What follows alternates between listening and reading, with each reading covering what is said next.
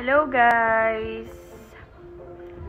So, sa mga nagtatanong about sa Facebook ko, kung ano nangyari, or did I block them, or whatever, I didn't block anybody guys. I just turned off my Facebook almost a month na po.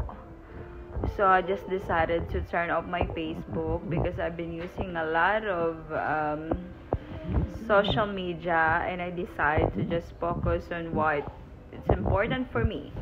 So I decided just to focus on my YouTube. So if you guys miss me or want to know what's, you know, going on, so just subscribe on my YouTube channel, guys. Thank you, thank you so much po sa lahat ng mga nagtatanong.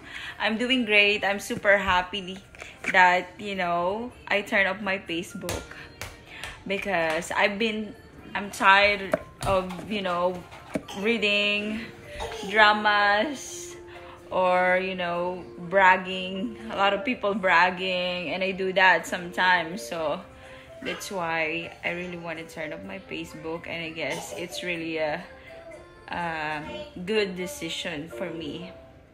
So that's it. Thank you so much guys sa mga nagtatanong. Hindi po ako nag-block or whatever. I just turned off my facebook